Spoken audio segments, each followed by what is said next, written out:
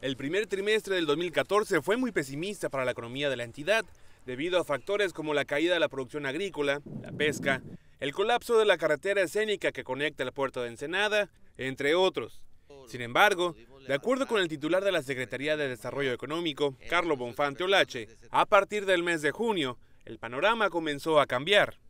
Después de un primer trimestre muy pesimista, donde el decrecimiento económico fue verdaderamente brutal por la caída de la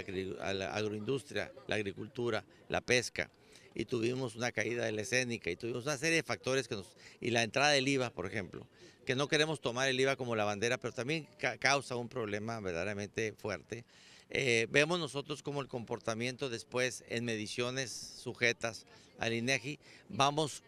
mejorando dentro de lo que viene siendo la segunda parte del semestre. El funcionario señaló que